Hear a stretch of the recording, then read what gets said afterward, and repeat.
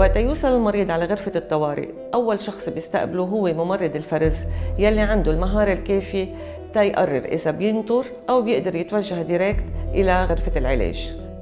هيدا القرار ناجم عن دراسة وعن تقييم مبني على معطيات معينة. نحن بالمستشفى بنعتمد system أمريكي للفرز Emergency Severity Index يلي على أساسه بنفرز المرضى حسب الأولوية لخمس فئات أو category. المرضى اللي من من category 3 و4 بيقدروا ينطروا لحدود الساعة والمرضى من category خمسة بيقدروا ينطروا أكثر لأنه حالتهم ما بتكون تستدعي يجوا على غرفة الطوارئ وبيقدروا يشوفوا طبيب بالعيادات الخاصة.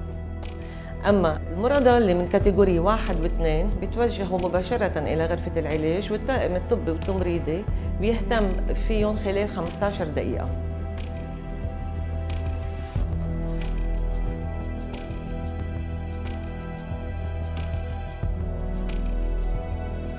هيدا الفرز أو ما يسمى بالترياج موجود بكل طوارئ مستشفيات العالم. وهو آه، قد ما كانت المستشفى كبيرة وموارد الرعاية فيها واسعة. نحن بمستشفى جبل لبنان معدل الوقت اللي بيقضيه المريض من وقت ما يفوت ليطلع يعني من بعد ما يخلص علاج ما بيتعدى الساعتين.